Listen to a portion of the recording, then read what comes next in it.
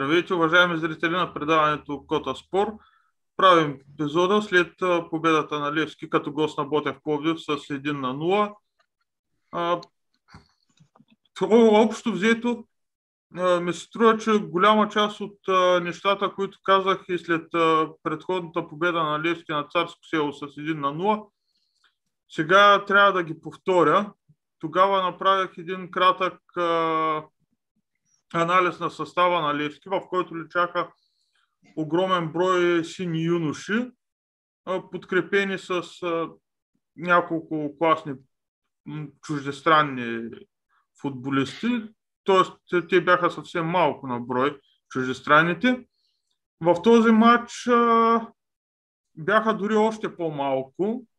Единствената промяна, която Живко Миланов направи в стартовия състав, беше включването на Николай Михайлов на вратата, т.е. юношите на, на Левски се увеличиха с един, колкото и вече да, да не може да говорим за Ники Михайлов като юноша, но, но все пак е такъв на, на Левски.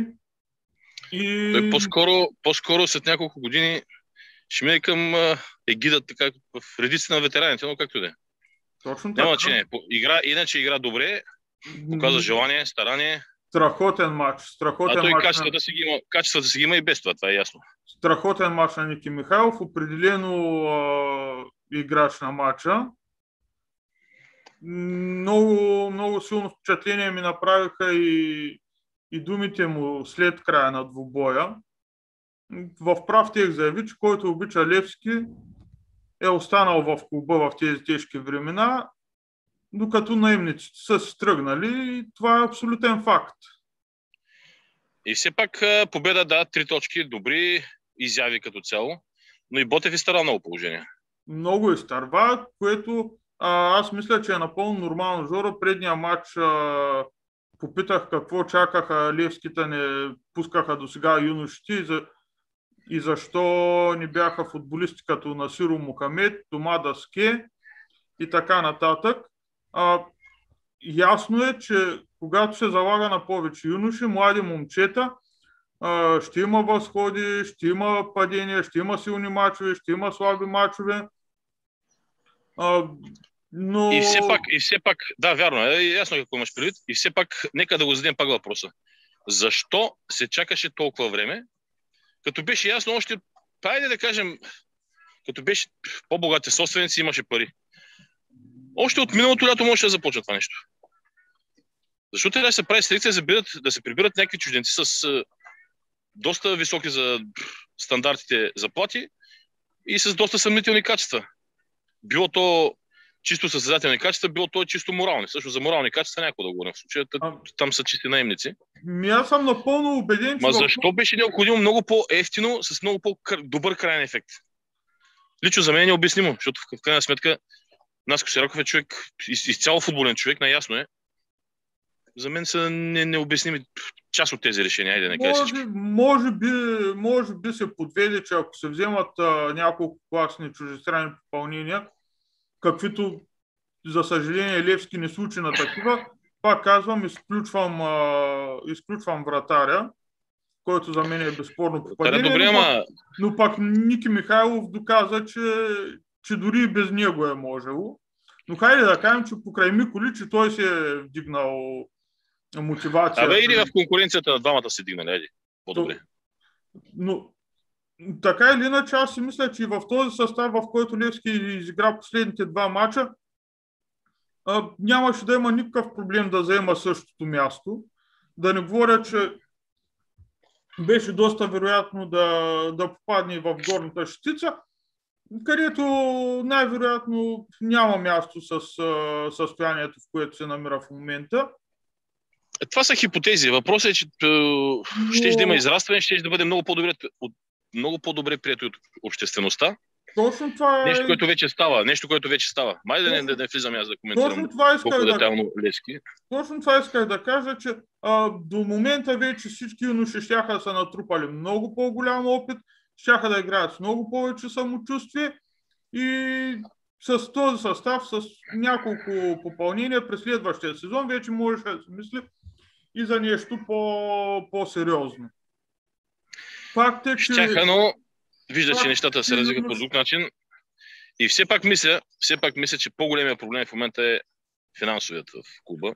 Разбира се, разбира се, че това е най-големия проблем на Левски в момента.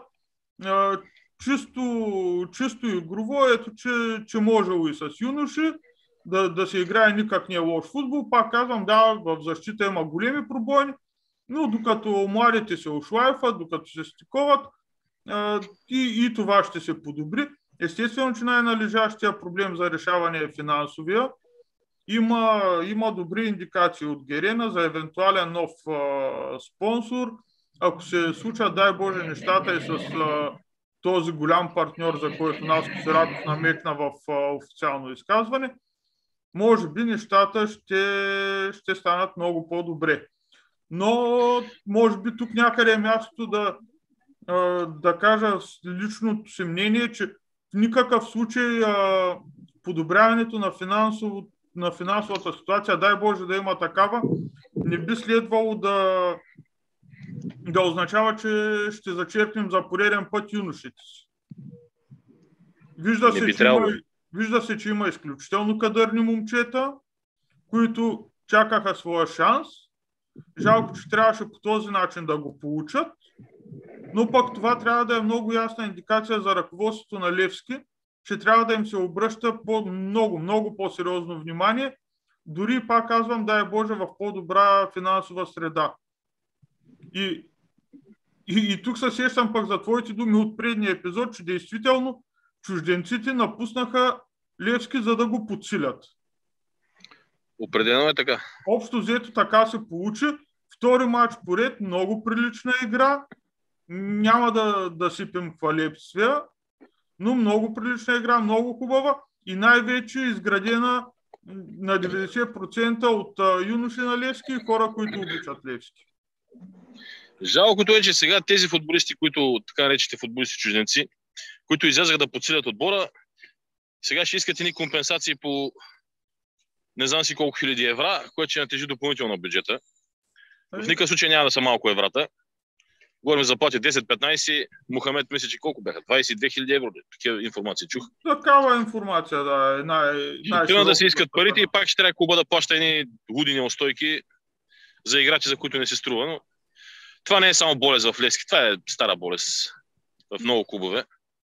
Ми искрено се надявам... Една от причините ЦСК да фалира преди години е точно тази. Искрено, за голямо съжаление. Искрено се надявам тази порочна практика да спре, защото ето гола вчера на, срещу Ботев Плодив, изграден изцяло от а, млади юноши на Левски. Мартин Петков с прекрасен пас към Марин Петков, много прецизно завършване на последния гол.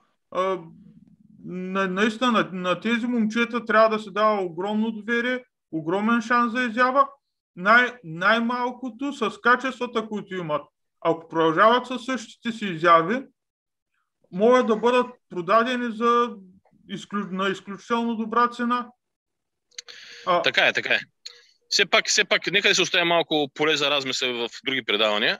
Да спрем до тук, защото имам усещането, че може би ще се наложи да се включваме пак по-късно днес. Да изчакаме решението на комисията, какъв, какво ще бъде по отношение на двата на мача на двата, двете ЦСК-та. И може да се наложи да правим пак много предаване. Да видим, да видим се пак. Е, ако и тук родят... След това очакваме и развитие по кауса БФС. Там също стават интересни неща. Ще имаме достатъчно поводи за нови предавания, извън регулярните около първенството, разбира се. И те, те сега и за първенството са и по-нагъсто, докато свърши самото първенство. Общо взето, е. общо взето преди... Дали бързаме заради европейското първенство? Друга въпрос е колко играчи има на европейско първенство, но това е друга тема. Еми, тя... имаме играчи пред телевизора. Имаме много. Добре. Добре. Викам да спрем тук и Лек, лек ще издане се отново. Лек ден на всички. И от мене.